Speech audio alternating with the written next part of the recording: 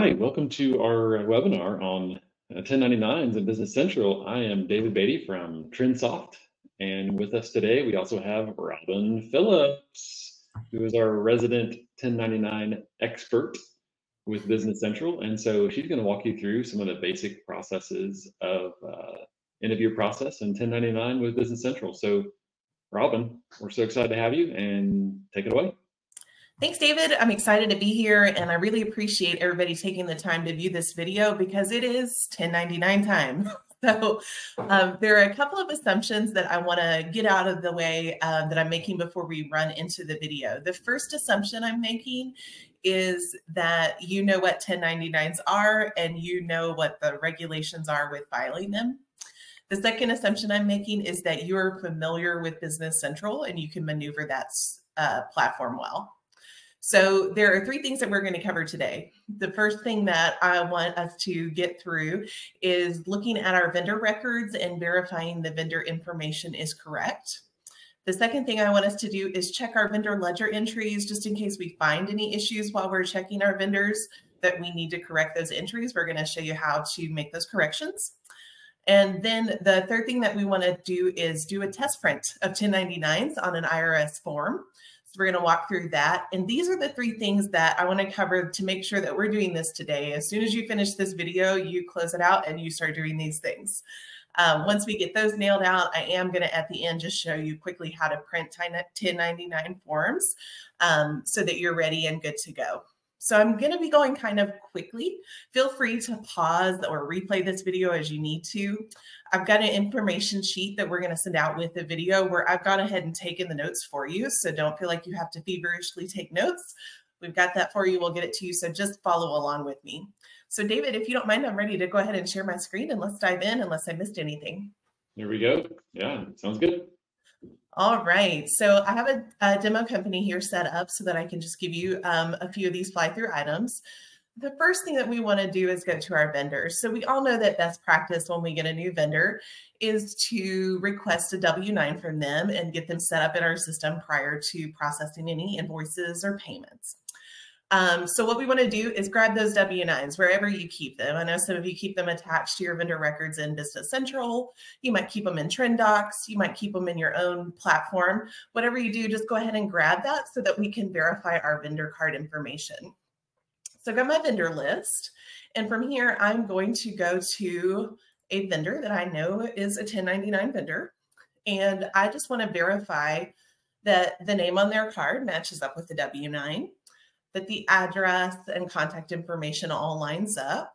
And then I want to scroll down here to the payments portion of the card. And here I just want to make sure that I have the correct 1099 code in the IRS 1099 code field.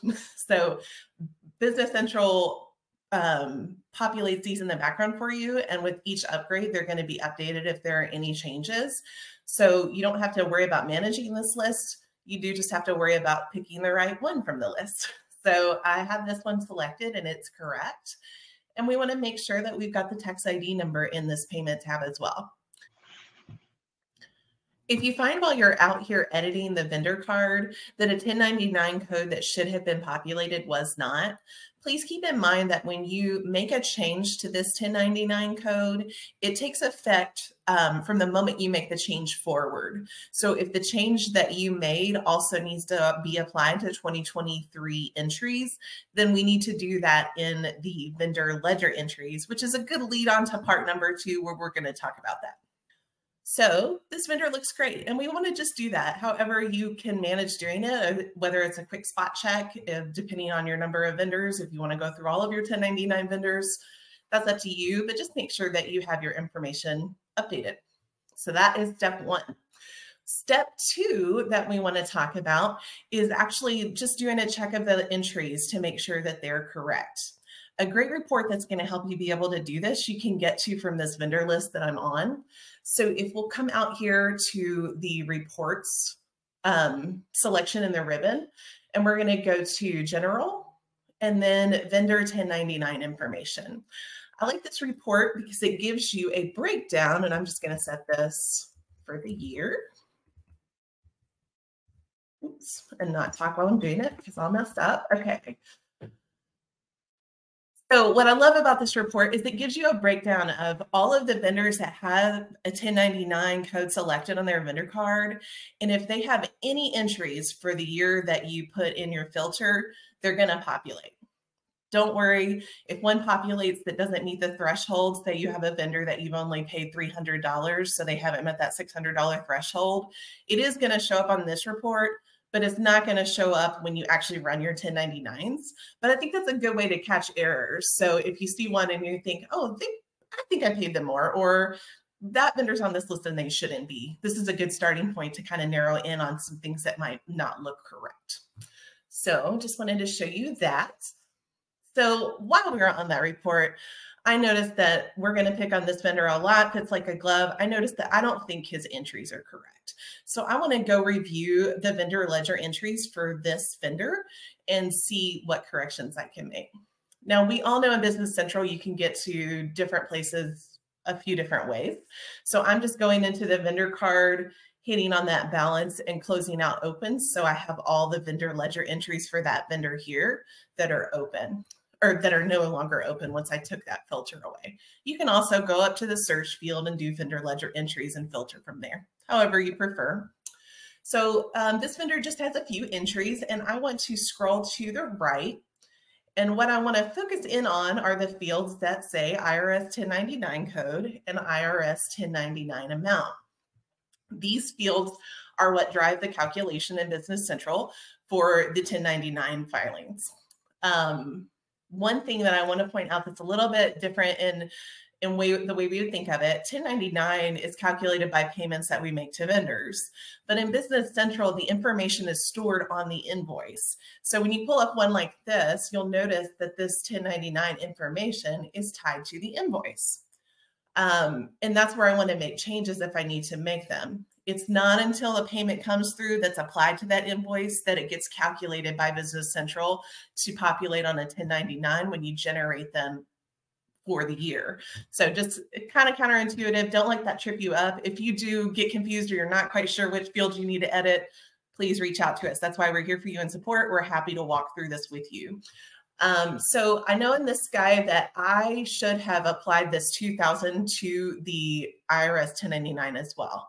So I'm going to come up here to edit list. And a lot of our vendor ledger entries, we can't edit things right, but there are a few exceptions, and 1099 fields are one of those exceptions. Don't fret. If you hit edit here, it's not going to let you edit something that you shouldn't. So we're going to go ahead and select the correct code.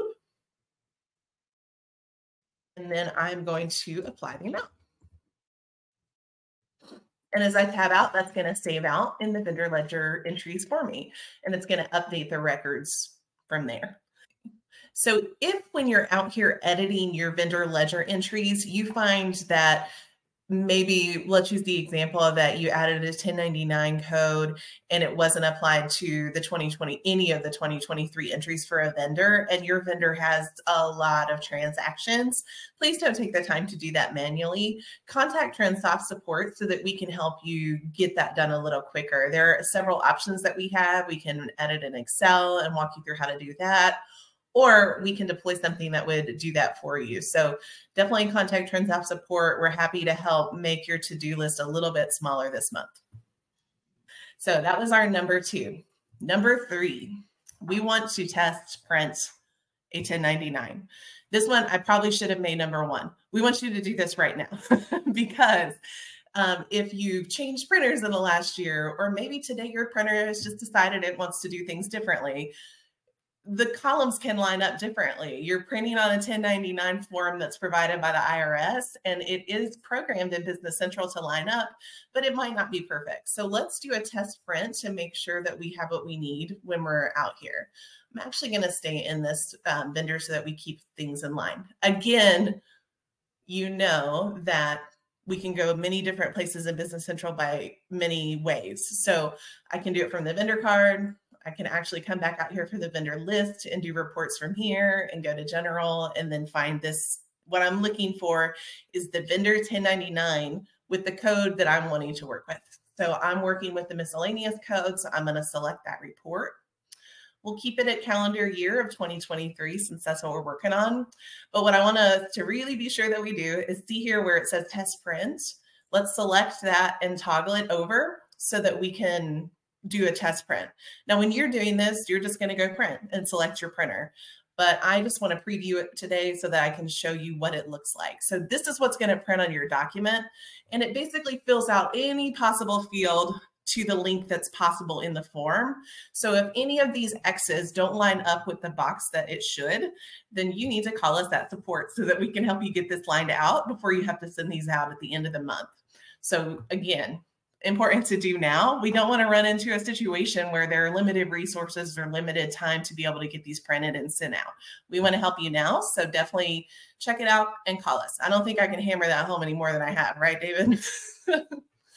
so that is what we want to do. okay. So those are the three things that we really wanted to definitely cover.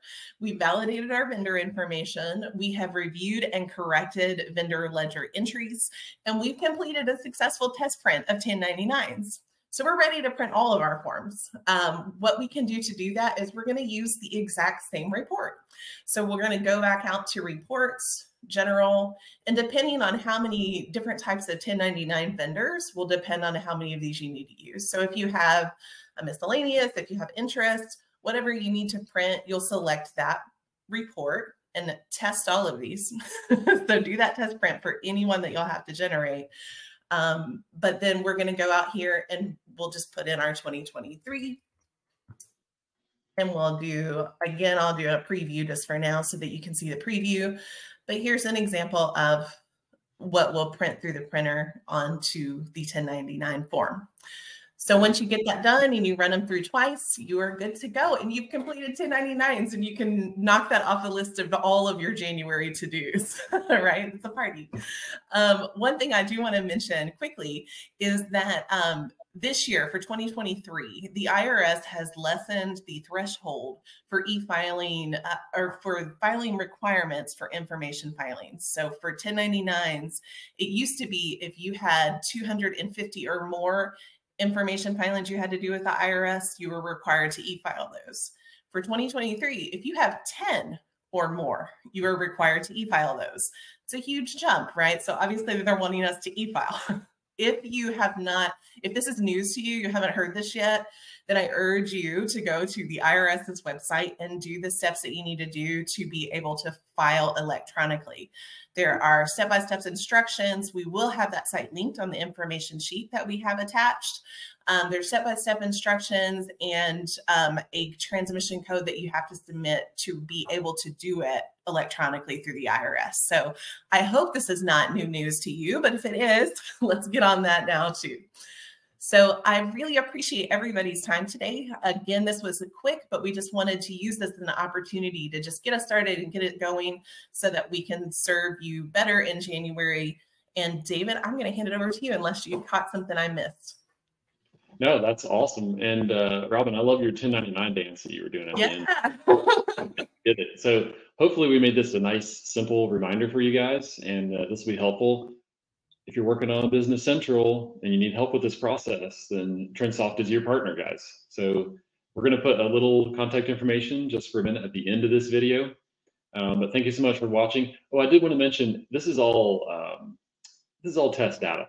So you know, any names are just pure coincidence, right? This is if you couldn't tell by looking at the names, it's all it's all test data. But thank you so much, Robyn, for guiding us through that and uh, for being our 1099 guru here at TrinSoft. And uh, we look forward to hearing from you guys. And uh, right here at the end of the video, you're going to see our website and some contact information. And um, good luck with your 1099s. Give us a call. Thanks. Thank you.